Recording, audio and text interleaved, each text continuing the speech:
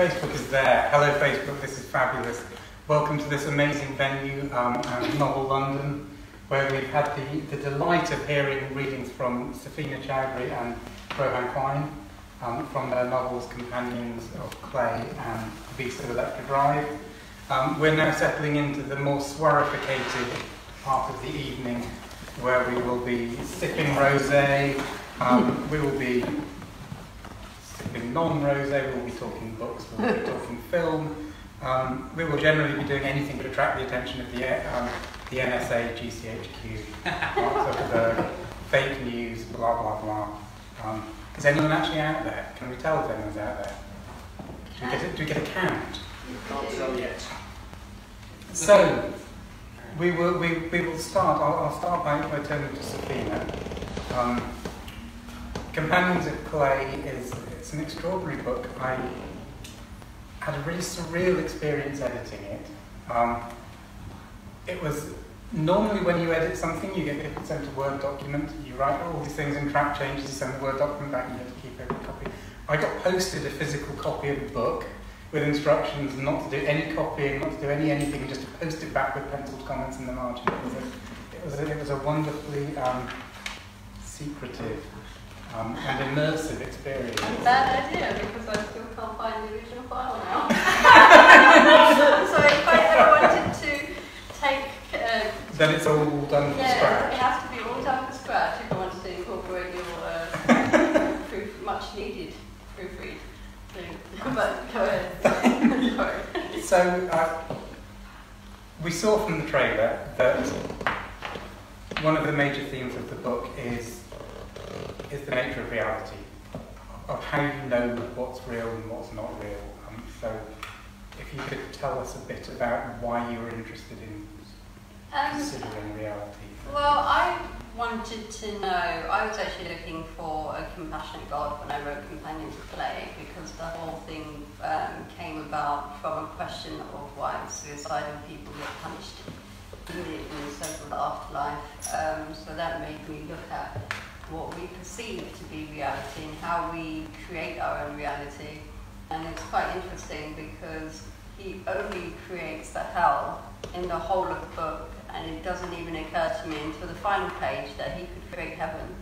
And I think that was quite kind of indicative of where I was at for the 10 years that I wrote it. So did you find what you were looking for on that journey? Did you find something completely the opposite Yeah, no, I, I definitely found something completely the opposite. The more like I looked into religion, the more it didn't make sense to me, and the more I looked into what was considered not to be real, which is our dreams. Dreams actually make a lot more sense to me than reality does. The waking life, my night life is a lot more interesting than my day life. But it's come to the point where I've pulled my dreams into waking life, so I get to I get to dream a different dream every day, and um, that to me is very very important. And you do that because you create a story, and then you can put yourself into it. Just make sure it's a good one. Which, which is certainly It's a, oh, a happy one, I should say. you know, yeah that, that I'm not so sure about. it's no, it's, It's, it's it, it, it, it hit every button for me in terms of what I look for as a reader. That's, that's um, including exquisite prose mhm. um, and fascinating different characterizations. Um, you're also a filmmaker, Mhm. so could you talk a little bit about how different it is when you are um, Well, I'm more, realizing something on the page? I'm more of a photographer than a filmmaker. I have worked on a couple of documentaries, but nothing major.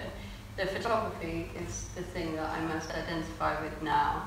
And what I love about photography, whereas uh, Companions of Clay was all about working with the dark, you have suicide, you have depression, um, there's uh, um, sexual violence, there's um, um, separation, be it familial or, um, or spiritual.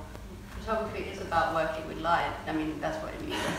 And I recently went to Africa and Nepal, and uh, I met like the Kung Fu nuns in Kathmandu, and I also met an anti-poaching unit in South Africa. So I, I've had people ask me why didn't you write about that, but quite frankly, I've managed to bring back their portraits and I can talk about them, and I've lived the adventure. I don't need to really write about them. So any anything that I want to experience, if I want to share it with the world, I'll find some way to do it. Um, I think Companions of Clay needed to be a book. Sometimes I think it should have been a film, but um, there are certain things that need to be certain forms. Yeah. And um, yeah, so what, whatever story I want to tell, I, I can I can either use photography or writing, um, Yeah. or camera, but not so much with camera. Script and do other things. But, yeah. Cool. So, talking about the craft um, and the way different works seem interrelate, um, I'll turn to Rohan because, um, as we, we heard earlier, um, Beast of Electra Drive is, I don't know if culmination is the right word, um, but it sits on top of a novel and four novellas Yes. um, and shares characters with those other works Yes. to some extent it shares a world with them, um, to some extent it reimagines that world. So could you could you explain what it was like writing something that has that complex relation with something you've already done? Um, it was a. It is a hub for the other five tales, and it was very satisfying to give them the underpinning of something that was slightly more user friendly than those existing five were. The existing five, they're great fun, but this was designed to be even more sort of reaching out and uh, punching and loving the, the reader than the, than the first five in terms of accessibility. Um, so I paid more attention to the uh, techniques that I hadn't looked at so much before of how you're meant to do things such as plot structure and goals and all that sort of thing, and objectives and uh, first doorway of no return and second doorway of no return and midpoint and first pinch point and second pinch point and uh, climax and resolution, etc. I'd never consciously read about all that, any of that stuff before, but I deliberately did so before this one um, as a new thing to see what it would feel like to do that for the very first time. This is how normal grown-up writers write, novelists write. Um, they do this kind of thing. They pay attention to structure up front, um, whereas I'd done a wild, strange, uh, fucked up thing with the, with the first five. And I think it worked, though I couldn't resist ironising the process, or at least or at least rendering visible the process, because I, I put such phrases as first the doorway of no return and pinch point and so forth in the titles of my mini chapters that comprise this novel. So I am giving a little wink, it's not a big deal, but a little wink if you like, um, in, in a kind of metafictional way. So Your, your writing is full of little winks. I mean, we saw that in the in the clips. Um, you'll be in one mood and then suddenly you do a lot of breaking the fourth wall, I guess, as a writer, is, is what I would call it. Um, you get words that are interjected, like, for example, there, there's one description where you, you suddenly bring the word spooky. spooky. Yes, and you, you, you can hear it in a Rohan voice. Okay. Um, and so, so all of a sudden you go from this voice and it's, I, I, I I absolutely love that. Um, and, and editing this book was, was completely different experience from editing yours, where I literally got this brown envelope with the book in and sent it back in the brown envelope. a plain And brown. plain brown envelope. Whereas with, with Rohan's, literally, I got these diagrams that were like, they, they were like spreadsheets that, that, that some sort of quant or algo writing software for the most sophisticated hedge fund would be, would be proud of. They were so complicated. NASA and engineers and all that. yeah, they, and they were in different colours representing. It was, it, we, you really had broken the process down into its DNA almost, and, and, and I think you, you, you actually find yourself enjoying it in the way we started out satirising it, but you actually quite enjoyed the process.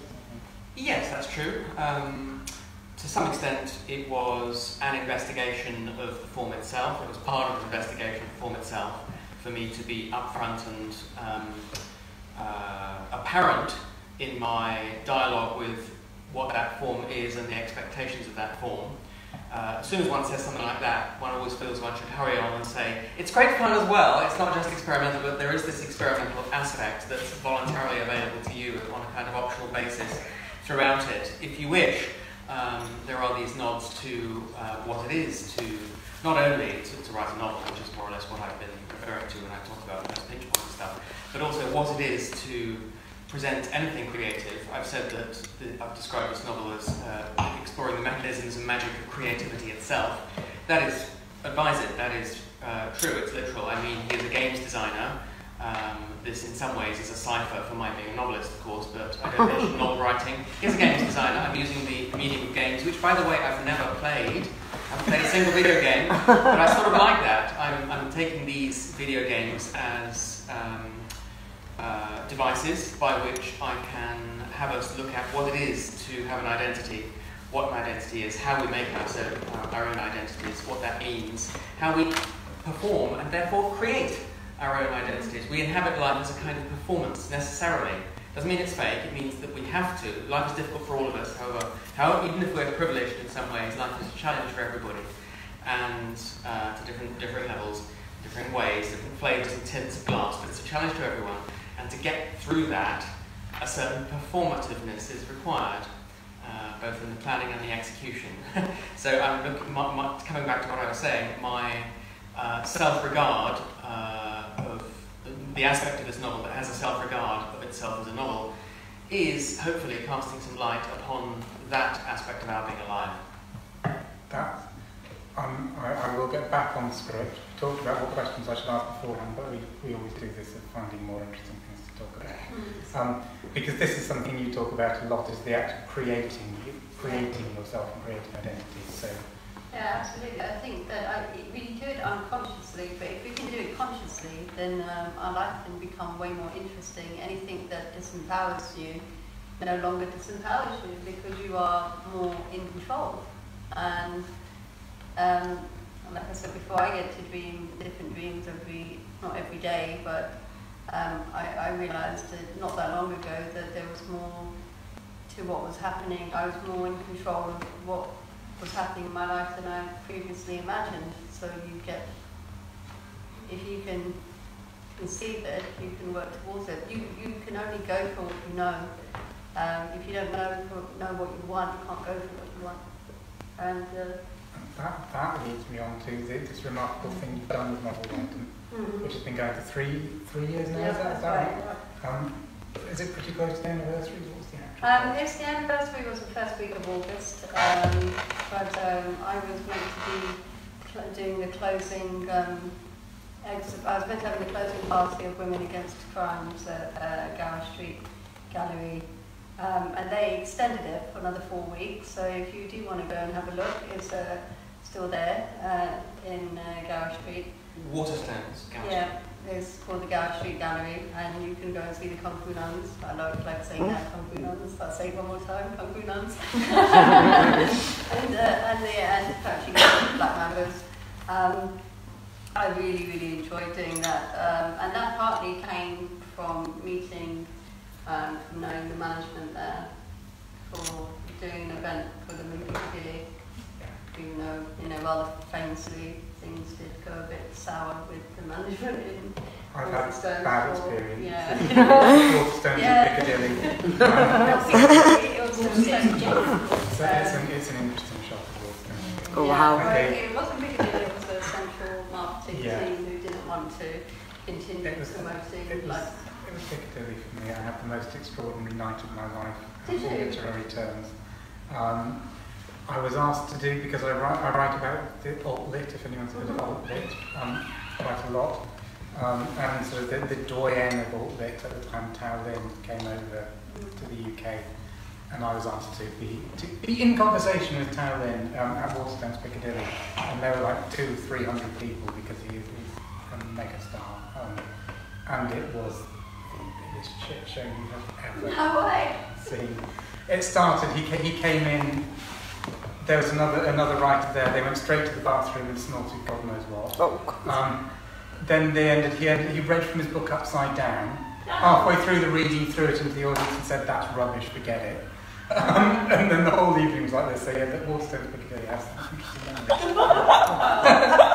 You're not like that, the venue isn't like that. Um, wow. so, could you, so, so could you tell us a little bit about you could never match that, but where, No, are, where are you going from here with Novel London? Um, well, in about a year, um, I have a two-day festival, hopefully with Foyles. Um, we're just um, uh, confirming dates and lineup, um, but didn't say that I can do it next year.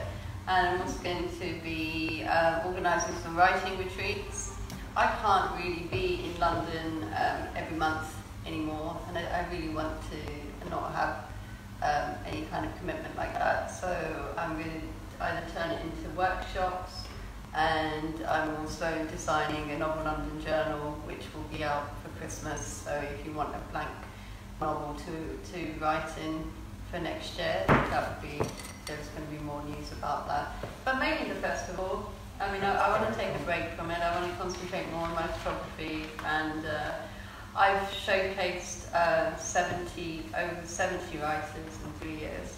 Um, and yeah, it's been, it's been, it's been good. I think that, that, you know, not many people have heard of the people that have read a novel London. And that was always my, uh, that was always my intention was to give people the, the author experience.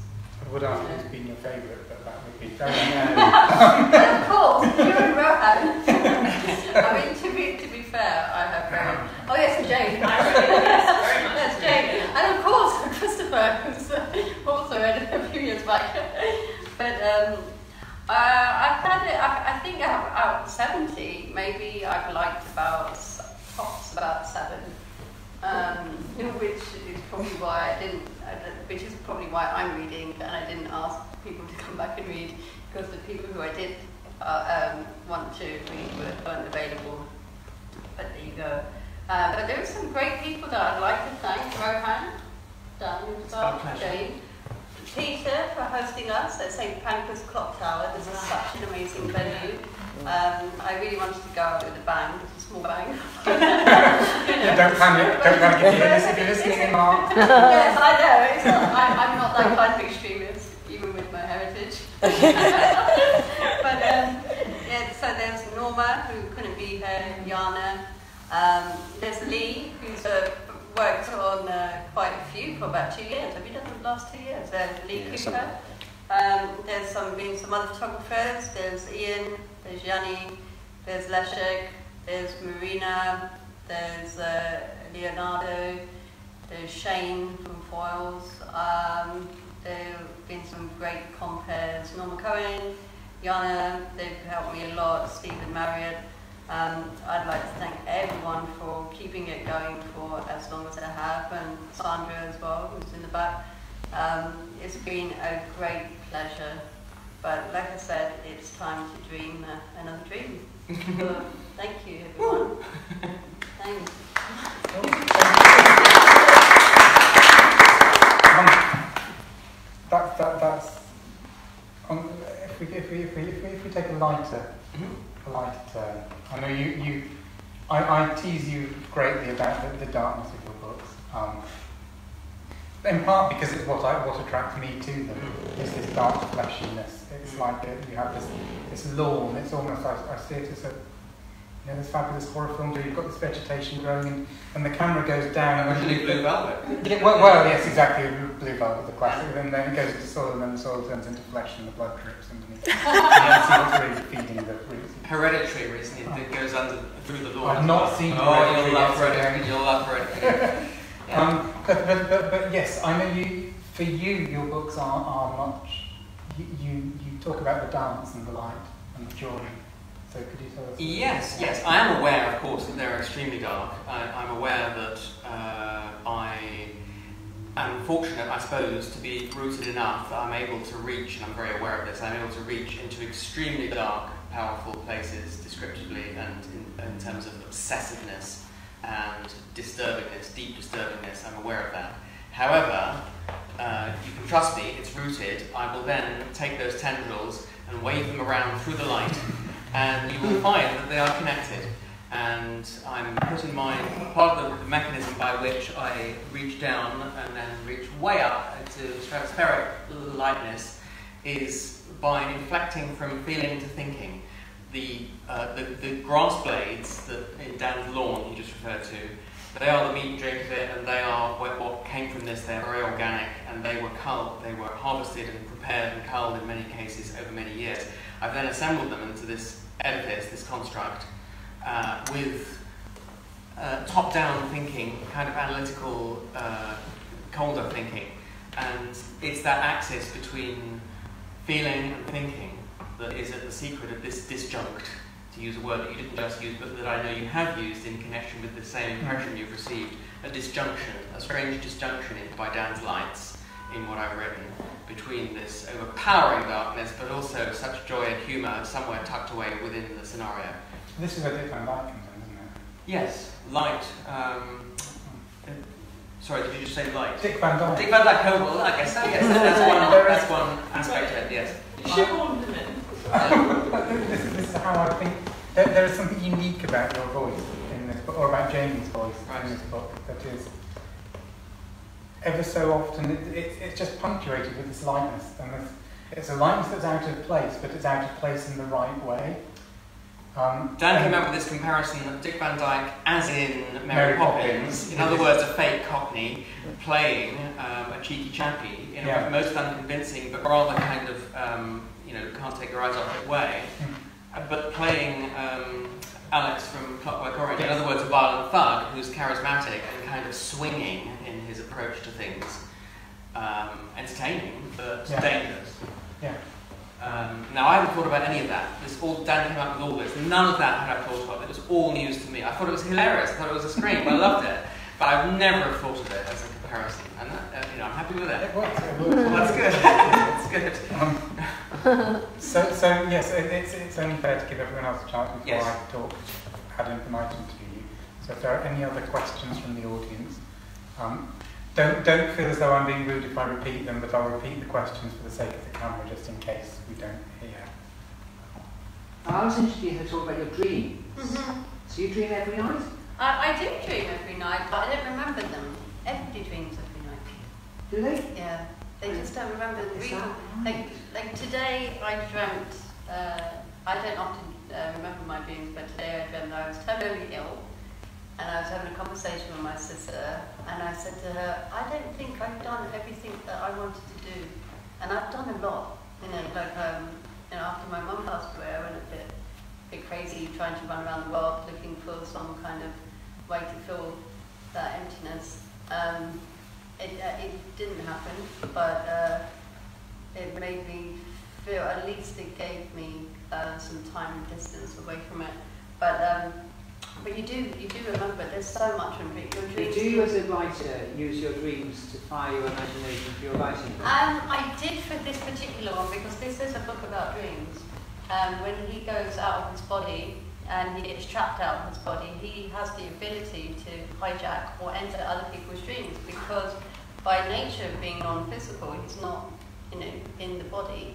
So he can go into other people's dreams and um, find out information about them, like his father being raped in prison and just the darker side of um, the book, which I didn't um, want to share because there's a lot which, uh, which is not normally a problem, but uh, That's, that, that's something that, no, that it comes didn't up. put you off. But I, I, I It am, didn't this put is me not, off. I am part of Novel London, so I didn't think. That but um, but yeah, every, everybody dreams. I wish I remembered a few more than I do. Do you remember, Pete, do you remember dreams that you have overnight? Uh, I thought I said once a week. Once a week, haven't it? Oh. Really. yeah. It's interesting because one of the things we have in Oxford, um, I work for Oxford University, and they, the th- Oxford Sleep Centre has become very high profile recently. They've done a lot of research, um, and that's clearly something they should do some work on. Um, They do practical research. They They do a lot people of- taking a clip on. yeah, they, yeah, they, they, they, have a, they have a whole unit of, of Right. sleep rooms where people can sleep Right. in various states, and they wake them up at various points and do Right. experiments on. Really? It's a fascinating place. Um, so yes, it's, It's, it's um, you might remember the first episode of Lewis is based around a similar centre in Oxford, and that was before the Oxford Sleep Centre actually became a real thing. Um, Have you volunteered for that? No, I haven't yet, um, but I do I do do MRI scans and that sort of thing. There, so it's a good way of making extra a couple of pennies out. If you were, if you live near a research university, um, then get in touch with the experimental psychology department and the neuroscience department. Not the vivisection department. Um, but what I was going to say is, is this is what first drew me to the comparison between your two books. Um, because obviously in the, one of the previous books, The Imagination Thief, there's something very similar goes on. This idea of ste- stealing other people's experiences. Yes. being able to experience things from other people's. Yes, uh, in all my uh, six tales, there is a central character, Jamie, who, um, may, like all the other characters, may or, not, may or may not be precisely the same Jamie as happens in all the other tales. There's a certain mutability going on here with all of the cast, but in all of them, he's got some ability where he can sort of uh, see into other people around him or direct things in some extraordinary uh, way that's a little bit supernatural, not quite. Um, and in the imagination thief, yes, he has the he had and has the ability to see into people's dreams, self-images, memories, fantasies, self-images, and all the rest of it. And uh, much of the novel inhabits very deeply a bunch of people around him that he looks into, and then having taken those in, he then projects them through his eyes. This sounds like sci-fi. It's, it's almost sci-fi, but it's not really sci-fi. Real readers of sci-fi wouldn't quite think, feel that it was. It's got a magical realist uh, um, element to it, I suppose, and certainly a horror element as well. But um, it is, as you once put it, on the boundary between literary fiction and uh, something slightly more experimental than that. Um, yeah, so sort of chiming me over as the type of person that really often comes to mind. Okay, right, right. But and, and it's, I- I'm, I'm gabbling again. There must be other questions.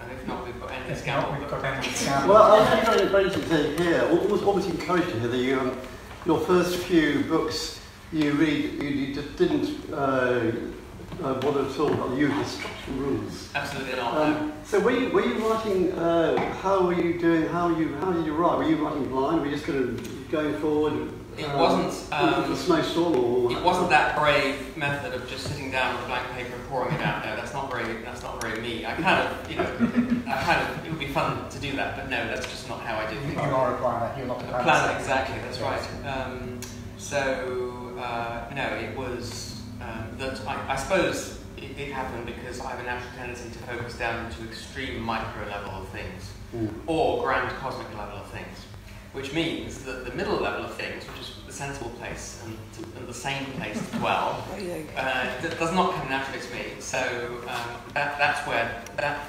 level there is where pla- plots, objectives, arcs, character journeys, and all this um, very important stuff that um, uh, dwells. Right. Um, that's what hadn't come naturally, and so I was forcing myself to do that.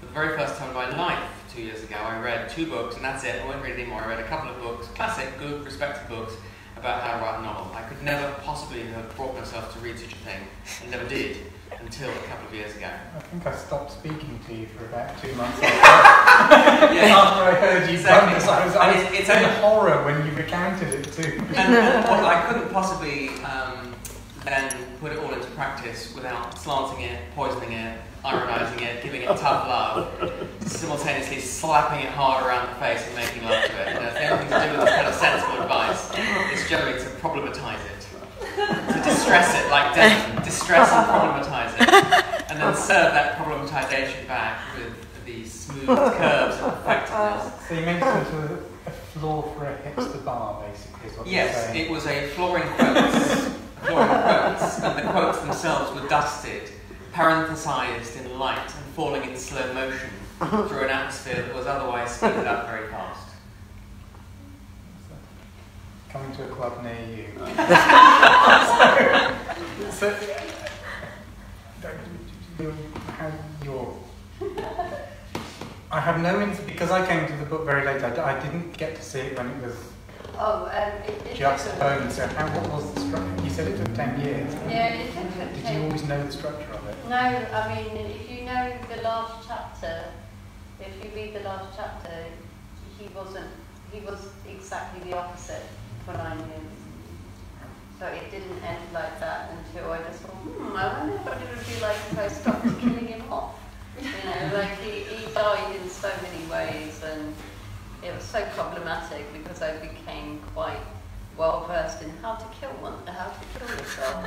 Um, so I remember going to the doctors and I needed sleeping pills, and they're like, "Oh," they pulled out the depression questionnaire and said, "Oh, so do you um, have you been thinking of self-harming?" I'm like, "Yes." They said, "When?" This morning, because you know one of the one of the, he was being ill, you know. Um, but uh, no, it was it was a very interesting um, journey. I'm surprised that I got to the end of it.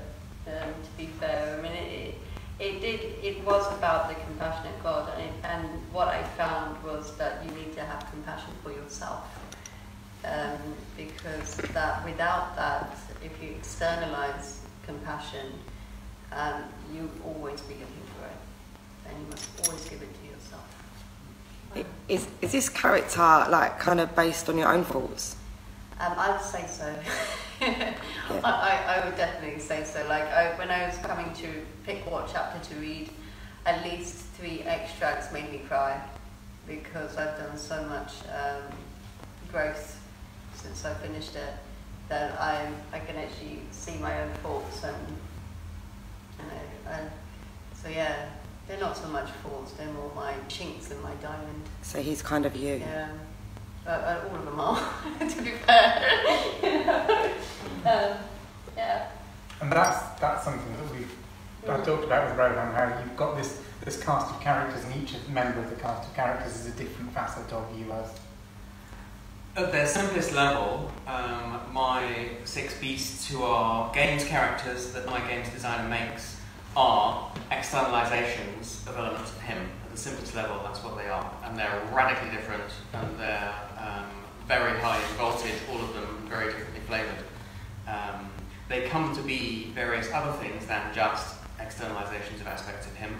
They come to be a very unforgiving um, satire on aspects of the world that uh, I think, uh, that I hate, and that I think need um, a serious slap, such as, well, it, it's centered on the kind of tabloid mentality, this toxic simplicity that we see espoused by many politicians at the moment, and that we've always seen espoused by every tabloid publication or tabloid style publication.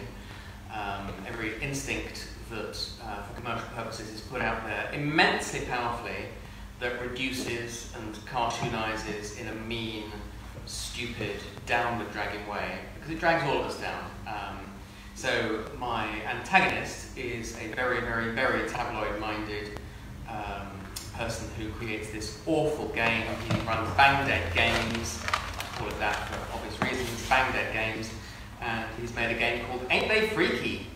And so my beasts take on although they're not they're no saints, trust me, they're no saints, but my beasts are on the force of, of good darkness and good light.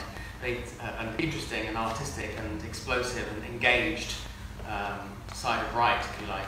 They take on forces of what I would consider deadness uh, that let us all down. Um, that are these essentially tabloid instincts, which I uh, essentially, ten more seconds. Essentially, I characterise those in a set of six ghastly news feeds. The GAL score, the guide score, the trivia score, the um, arts score, and the cozy score.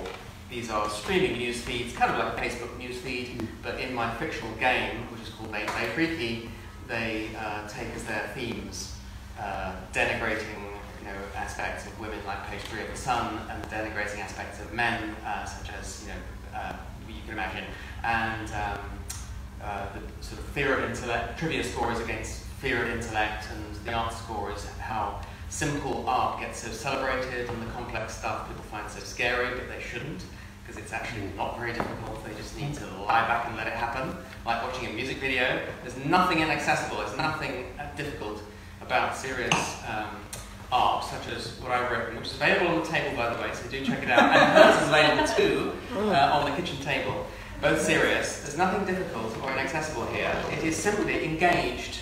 Um, so kitchen table. yours is on the kitchen table too. he wrote Killland, which is available on the kitchen table too.